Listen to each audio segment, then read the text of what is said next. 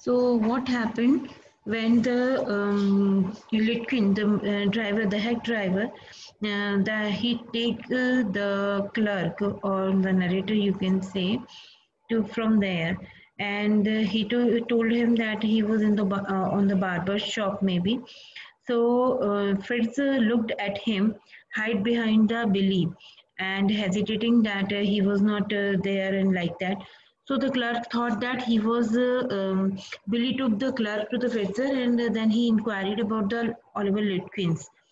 Uh, he tried to appear natural by saying that his friend has come to meet him, but he was so much confused and then he uh, said that he was there few hours before, before and now he was not there. And he left for the uh, Gustav's shop where he had gone for the shave.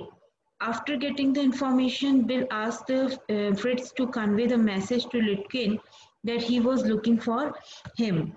Uh, because he was just making the fool to the narrator, so that is why he was doing like that. So the next, uh, they, uh, they went to the uh, Gustav shop. Uh, here also Billy ins went inside the shop first and the clerk waited for him outside. they had faced the anger on the hair, hairdresser's because the Litkin had not paid his $35. But one of the customer told them that he had uh, seen Litkin in the main street near the hotel. So then as we climbed back to the uh, hack, uh, when they about climbed to the hack, again the bill guessed that uh, Litkins uh, may be gone to the Gray, uh, Gray's barber shop as he uh, credit uh, his credit limit uh, with the Gustav had ended. But uh, when they reached the Gray's shop, they came to know that Litkin left the place just five minutes ago. So they decided to visit the uh, pool room. Someone told them that they had left for buying the cigarette to there. So their attempt to catch him, that they will be uh, catch here from them, almost an hour had passed it was one o'clock in the afternoon. The clerk was hungry, but the Bill's cheerfulness and knowledge of the villagers was too delight for him to hurt the brother of the Litkins. So what happened? The clerk asked the bill about uh, having much. Uh, he offered to buy the lunch for both of them from the restaurant. Bill replied that there were only four restaurants and none of them were good he said that he would get food from his wife. Bill also suggested the clerk to buy the food parcel from his wife as he had to pay only half a dollar, which was far less than price of the restaurant meal, which was the oily and non-tasty.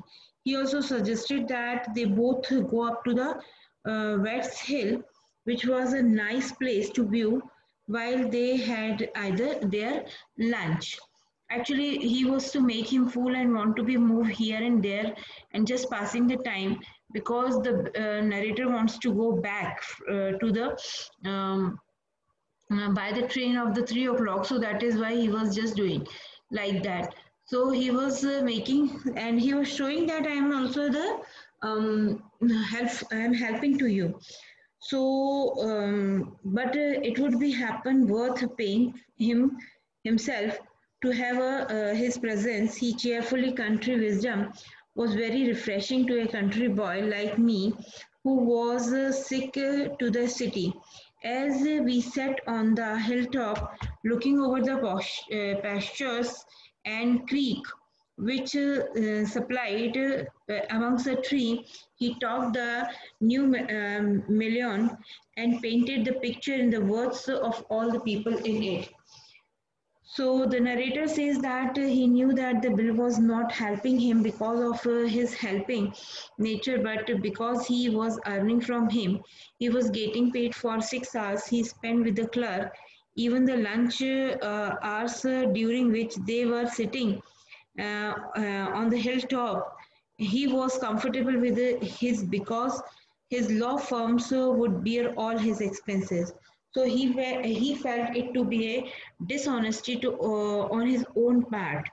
So otherwise, uh, anyways, he was happy to get the company of such a cheerful person. Uh, this means that he uh, um, prays to for the good for his problem. There were uh, some col- uh, college boys who were dressed in such a fancy way, and the lawyer's wife, who have always failed in her attempt to make her husband, were both in the collar and tie in the same day. The narrator says that Bill's knowledge of his village fellows was so good that it made him uh, love and small town of the uh. He says that now he was uh, knew almost about the place, whereas he was much more aware about the city he was living. So uh, Bill knew nothing about the college, uh, college in the city maybe because he never got a chance to visit the city. So, but he was knew everything about the village and small town. So he had done different type of jobs in at these places. He got his ideology of the simplicity and cheerful, uh, cheerful nature as a gift by exploring uh, these um, uh, things, these places. He tried to build faith in the narrator that they would be surely catch the Litkins. Both of them left the beautiful field, restarted, and again they started to search the mission to him. At last, he, uh, he forced one of his friends and uh, that he was admitted that the Lutkin was ran away from his mother's house, which was three miles away from the New Mullion. Uh, so both of them uh, prepared a to drive the Lutkin's mother in order to found find him. So what happened? They have just uh, tried to be make them comfortable and want to be think that he was a uh, very much good friend of him, I take care, and truly, truly he was saying all that thing. Bill told him that uh, he knew the Oliver's mother because once he took the uh, deliver of a trunk of her, um, she treated him very badly as she was angry and not, so he was just making a picture in front of the writer that um, the Oliver's mother was very much uh, um, not a good lady and he was uh, fighting to each and everyone.